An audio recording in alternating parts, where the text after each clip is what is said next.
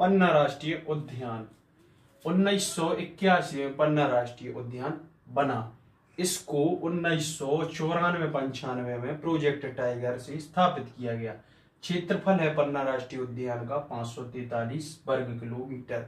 यहाँ सबसे प्रसिद्ध पशु जंगली भैंसा उसका संरक्षण पन्ना राष्ट्रीय उद्यान में किया जाता है। केन नदी बिल्कुल पन्ना एवं छतरपुर के मध्य से होकर निकलती है, जो कि पन्ना राष्ट्रीय उद्यान के बाजू से निकलती है। आंवले का उत्पादन पन्ना राष्ट्रीय उद्यान में सबसे ज़्यादा किया जाता है। और एक और, पन्ना राष्ट्रीय उद्यान में रेपटाइल पार्क स्थित है।